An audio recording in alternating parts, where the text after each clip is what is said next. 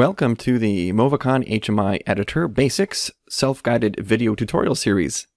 In this first video, I will explain what this training course is about and how it works. Hi, I'm Matt Pelletier. First, I'll show the working HMI screens you'll make. Then I'll explain how you'll use our equipment and software to complete this self-guided training course. I'll review the prerequisites and training materials you'll need, as shown in the class description, and finally, I'll overview the itinerary in just a little more detail and talk about how the certification testing works. In this training, we'll work on two projects. The first is a super simple project, the Quick Start project. The purpose is simply to understand how to get up and running quickly. It's just one button, one light, and some numeric data communicating between the HMI and the controller hardware. But the majority of the course is dedicated to building the main project. This also communicates to the controller. The main project is a fully functioning HMI for a motion control system. It has several pages here and interacts with the pre-programmed controller.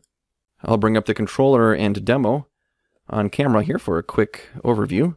First I'll log on to see some setup functions in this setup screen reboot and write parameters, clear alarms, monitor the IP address and other things. You can jog the motors in the jog screen. Just turn the servos on here in the control panel. And you'll jog motor X. There's different tabs for the other axes like Y and Z. See that? In the auto screen, you can start a move sequence. See the motors uh, moving one by one. And there's a little animation there showing what's happening. If you cause an alarm, there's the alarm screen to troubleshoot, looking at the history, acknowledge and reset the alarm. And in the recipe screen, you can save and load recipes to change the move sequence. Here's a faster version of that same move sequence. You can see the motors here are moving a lot faster than before. So if building an HMI like this looks like something you'd like to learn how to do, stay tuned. We'll give you access to our hardware using the remote demo system provided by Secomea, like the one I'm using right now. In fact, connecting to the remote demo is the next video in the series. You'll have control of a camera just like I'm using to see the controller and motors. And when necessary, you can also upload your HMI project to the physical HMI device. You will be able to use the HMI hardware remotely without physically touching it through the VNC Viewer software installed on your PC. Communication between your PC and the HMI occurs over the Secomea link, and it is important to have a second monitor so that you can use your software on one screen while viewing the video and the training materials on the other. If you already have an MP3300 IEC and a 7-inch Smart Panel HMI, and you know your way around MotionWorks IEC, you could also complete this training on your own hardware.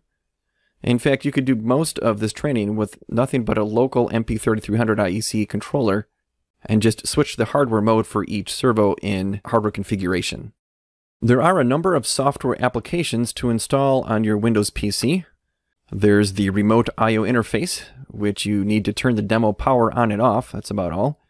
You'll also need the MPIEC web user interface, which runs in a modern web browser, However, you'll need an older web browser, Internet Explorer, in order to use the IP cameras. You saw VNC Viewer, which lets you operate the HMI hardware. This is a free utility at realvnc.com. On a couple occasions, you will need to open the provided MotionWorks IEC project. You can get MotionWorks IEC software at www.yaskawa.com slash IECSW and it runs for 30 days before you have to purchase a license. Naturally, there's the Yaskawa HMI editor called Movicon. You can find that at www.yaskawa.com slash HMI to download the software. The free version is usable, but with frequent reminder screens, which can be removed by purchasing the quite affordable license.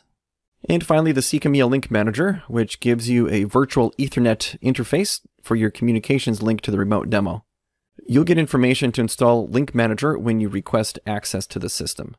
The training format follows this general flow for each section of the training. Each section is a separate video. First, I present and demonstrate the new concepts and the expected outcome of the HMI. I just want you to get a general idea of what has to be done and how to go about doing it. Then you'll follow the instructions in the mini-lab document. This is basically a step-by-step -step instruction manual you can follow to get the job done. In the final part of each video, I'll demonstrate how I completed the mini-lab and point out any helpful details when I can. If you get stuck, please don't get frustrated. You can send an email to training and we will get back to you as soon as possible. In the meantime, just move on to the next section. Your question may be answered there also. Apart from this video, there are two prerequisites for the training, and they can both be found by going to www.yaskawa.com slash HMI. First, please read a little bit to become familiar with our HMI products. Just click on one of them, and you'll see under the overview the features and specifications for each product line. In-depth knowledge of our HMI product line is not covered in this course, and having a basic level will help you succeed. Second, please go to Support and Training, e-learning curriculum, and watch the Smart Panel HMI Quick Start video. In the first mini lab, you will implement the project shown in the video, so it will help if you have a general idea of the steps involved. And finally, it's recommended but not absolutely necessary to take the basic level IEC self-guided training courses first if you can. There are just a few times when you'll have to use MotionWorks IEC or the Web UI in this training, and I will walk you closely through those steps, but these training classes definitely will help. The training materials can be downloaded from www.yaskawa.com slash self-guided. These include a PowerPoint presentation covering the introductions for each section. You'll also find the Minilab PDF documents, which are your instructions to complete the training exercises. Remember, you will have to prepare the MPIEC controller, and for that we provide a project archive. The actual MPIEC project files must also be opened briefly when setting up communications and are available for reference. Now I'll present the training itinerary. Each item represents a separate video. It usually takes between two and three days of focused training to complete all of these, so please set aside enough time. This video is the introduction, and next up will be the remote demo connection. I'll ask you to follow along with me on the Quick Start Mini Lab project so that you can get used to how these mini labs work. Then I'll show you more details of a working version of the main project so you get an idea where this is all going. The first step on that main project will be to establish communications, then lay out the project screens before completing the different screens such as navigation bar, control panel, setup, jog zero, auto, recipe, the alarm screen, and user management. I do want to give you some tips on project management, editing, and symbols along the way, but these topics do not include a mini lab. The final video is an example of what to show for the certification test. The certification test will work like this. Once your project is finished, upload it to the Smart Panel HMI located here at Yaskawa headquarters. Download that certification test checklist and verify that everything works on your own using VNC Viewer. At that point, you can email training that you are ready, and we'll set up a meeting where you can demonstrate the functionality and receive official credit for the training. I have more details and example of this in the final video of the training series. Thank you for your attention, and please reach out to training at yaskawa.com with any questions.